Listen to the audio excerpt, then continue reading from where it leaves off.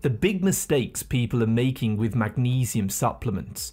Magnesium supplements are very popular for improving sleep and relaxation, calming down muscle cramps, especially in the legs at night, and for lowering blood pressure, skipped heartbeats, and many other issues. However, if you don't know exactly how to use these supplements, you could be wasting your money. In this video, I wanted to talk about the common magnesium mistakes and how to use this mineral properly. Mistake number one is using the wrong form of magnesium. There are many different types of magnesium supplements on the market, some of which are very poorly absorbed. If you check the backs of the labels, the most common form is magnesium oxide, which is very very cheap, but sadly only 4% of the magnesium is absorbed by the body, making it a very poor choice. Instead, you'd want to start choosing the right type for your specific needs. For example, magnesium glycinate has an absorption rate of around 80% and is excellent for reducing anxiety, cramps, or skipped beats or heart arrhythmias. Whereas magnesium L-threonate can cross the blood-brain barrier and is better to use for brain health and improved cognitive function.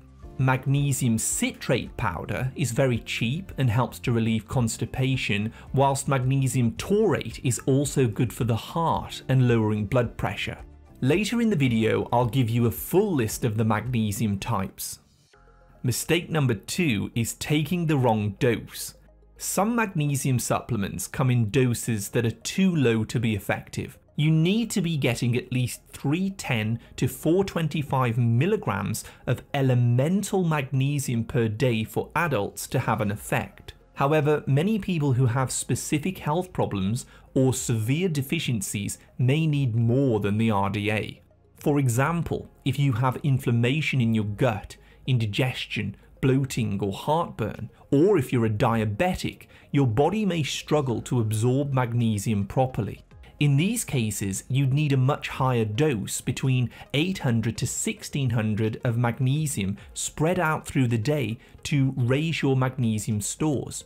If you do start checking the labels, you'll find many over-the-counter supplements have levels that are far below the required amounts of elemental magnesium.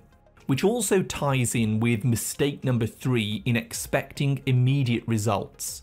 In some cases, magnesium can work very, very quickly. For example, if you're easing a muscle cramp, a twitching muscle caused by an overactive nerve, it works fast. But over 60% of people are chronically deficient in magnesium because we simply don't consume enough vegetables, so it can actually take at least three months to fix the underlying problems and correct the biochemistry of the body and build up the magnesium levels inside the cells rather than just the blood. The fourth mistake is relying on blood tests. Many doctors make the mistake of testing your blood to check your magnesium levels. However, only 1% of your magnesium is actually stored in your blood as 99% of it is stored inside your bones and your cells. So blood tests do not give an accurate result, making it a pointless exercise in my opinion. It's much better to check for the symptoms of a magnesium deficiency, such as anxiety, twitching muscles, cramps, high blood pressure, and others. You may want to watch my video 12 signs your body needs more magnesium to find out if you may need it. And then we have mistake number five, missing the key cofactors. Now, in order to absorb and activate magnesium from a supplement, your body needs vitamin D. It is best to take at least 10,000 international units of vitamin D3 daily as a maintenance dose, or to expose your skin to sunlight for 40 minutes a day. Vitamin D helps your body absorb the magnesium from foods and supplements. Vitamin B6 also helps magnesium be transported into your cells as well. And you can get that quite easily by eating some salmon, nutritional yeast flakes, or other fish. You also need to be hydrated by drinking enough water so that your body can transport the magnesium to your muscles and nerves.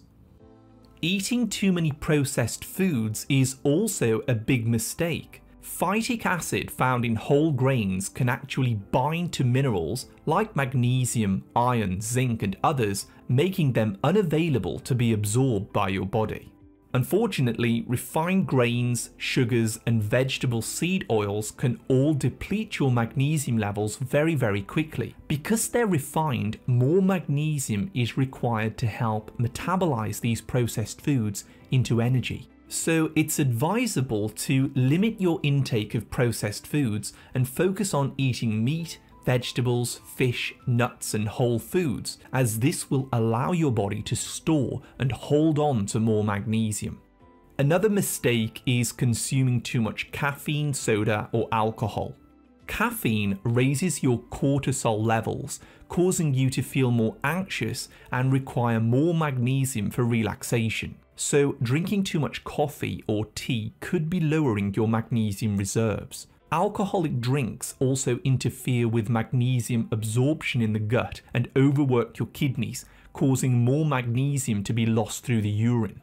And soda drinks also have a lot of phosphoric acid, which is used as a preservative and to give you that pleasant sensation that's in the back of your mouth when you drink it. But drinking too much phosphorus disrupts the balance of calcium and magnesium in your body, leading to problems like bone loss, stiff arteries, high blood pressure, and muscle cramps. As a side note, carbonated water is absolutely fine and does not usually have phosphoric acid. It's only the soda drinks, both diet and regular, that you don't want to overdo. Mistake number 8 is ignoring dietary magnesium.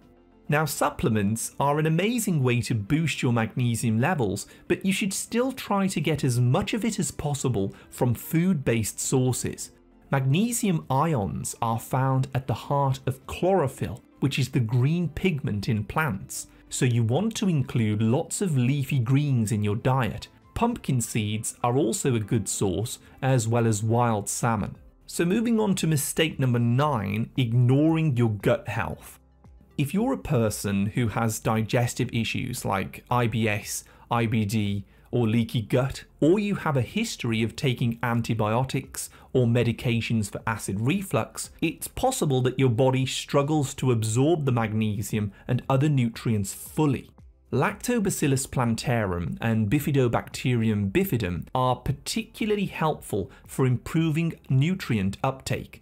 All you need to do is start eating more of these friendly bacterial strains from high quality fermented vegetables like kimchi, sauerkraut, or other types of fermented cabbage. Lactobacillus acidophilus and Lactobacillus rhamnosus also majorly support gut health and magnesium absorption, so consider adding probiotic rich foods like kefir or yogurt with live cultures into your diet. These majorly help to heal and reseal your gut lining to restore your gut health, lower inflammation, and help you absorb magnesium. Mistake number 10 is bad timing of your supplements. Depending on what your goal is, magnesium supplements should be taken at different times during the day. For generally just raising up your magnesium levels and supporting your muscles and nerves, spread your doses out throughout the day. For sleep and relaxation, just take it two hours before you go to bed. For brain and cognitive improvement, you may want to take it in the morning and the early afternoon, as I do.